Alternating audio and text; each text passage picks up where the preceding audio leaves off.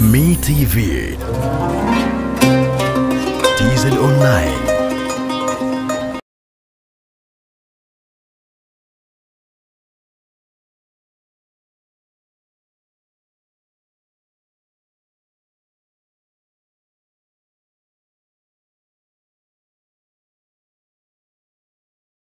Kufika hapa nikakuta ame, amekufa amekata kichwa, wameenda nacho.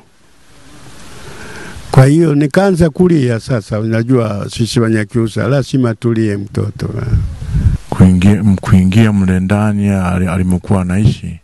Nikakuta yani ku- kume vitu vimesambazwa, yani yeye yuko chini, wameweka vitu juu, manguo, mahindi yamemwagwa juu yake, unga, karanga, maharage. Basi tukaanza kufanya uchunguzi ku, kuangalia, yeye akawa yuko chini, amechinjwa kinyama sana na kichwa hakipo.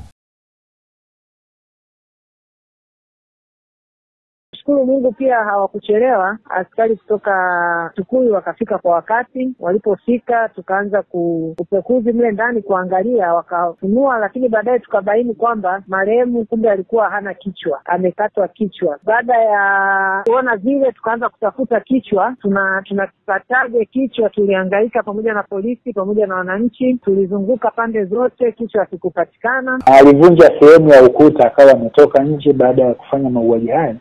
Ni kazi ya kwanza kumsaka. Tulichokifanya ni kwamba tulimpata huyo kijana, alikuwa amejificha ame- kwenye pagara la nyumba hapa karibu na kituo cha polisi cha Kiwira hapa. Baada ya kumkamata yule bwana, kushirikiana na wananchi wenye nani nzuri, tulikwenda tukamwambia sisi tunachohitaji ni kile kichwa. Kwa hiyo alichokifanya ni kwamba ni kwenda kutuonyesha kando kando ya ule mto, alificha, aliweka kile kichwa kwenye ndoo kwanza alikifunika na mifuko ya sandarusi miwili, alafu baadaye akakiweka kwenye ndoo akaweka na udongo, kaenda kuweka kando kando ya mto. Kwa hiyo alikwenda akawapeleka askari mpaka kwenye kando kando ya ule mto, tukakuta ule ndoo na ule udongo, na ndani yake kukiwa na kile kichwa kikiwa kiko ndani yake. Kwa habari na matukio mbalimbali mbali, usiache kusubscribe YouTube chaneli yetu ya Me TV TZ Online.